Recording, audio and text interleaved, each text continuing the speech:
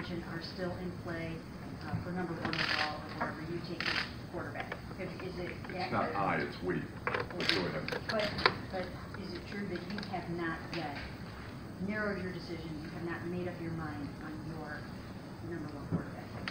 You know, I still look at it this way, the draft is seven days away. I'm very confident where we are in the process. And, you know, the draft is seven days away from me. John, who who said ask you, you have a unique uh, process on how you do things? You might be the third, fourth, fifth phase right now. Can you take us through a little bit of your And, your and I think it's, um, in terms of the process, I don't want to give too many trade secrets away, but, uh, i- i- the process is, is to get consensus within the organization. I think that starts early on in February. Um, and by that I mean, you know, the college scouts have a seventeen-day meeting. We sit as a group, as an organization, and we begin to do that type of meeting.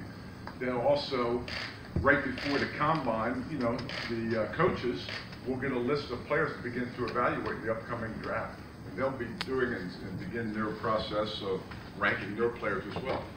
And then we come back, and after the combine, there begins workouts, and we begin to analyze data and numbers. And then as a group, we begin to watch some more film. And then the college scouts have been on the road.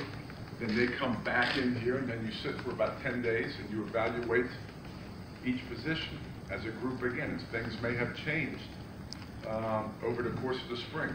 And then we come together as organization, personnel, coaching, and we sit there and we begin to build and come to consensus and kind of bring that together so I can hear everybody's viewpoints and objectives.